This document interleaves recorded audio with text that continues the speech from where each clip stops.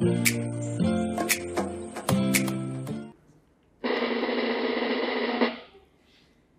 pertama di sini untuk listening comprehension yang short dialogue, focus on the last line and restate with synonym.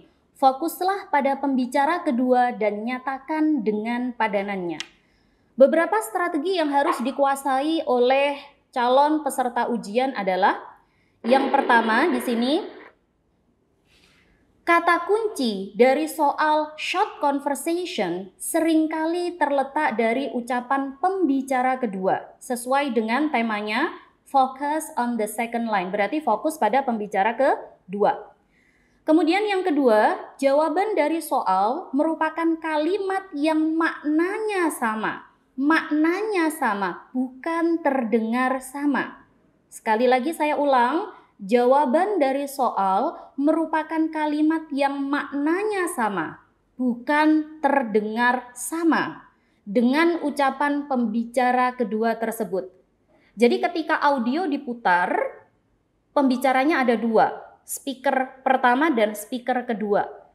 Jadi fokusnya pada orang kedua, speaker kedua, orang terakhir. Nah, apa yang didengar jangan langsung dipilih di opsi, tetapi apa yang didengar, cari padanannya yang memiliki makna sama. Intinya adalah mencari padanan atau sinonim dari kalimat yang dimaksud oleh pembicara kedua. Sekarang kita akan berlatih pada satu contoh di sini. Misal, pada saat audio diputar, Anda sebagai peserta ujian mendengar, Steve, is something the matter? You don't look very good. Ada apa, Steve? Kamu tampak kurang sehat. Oh, I'm feeling a little sick today. I am feeling a little sick today.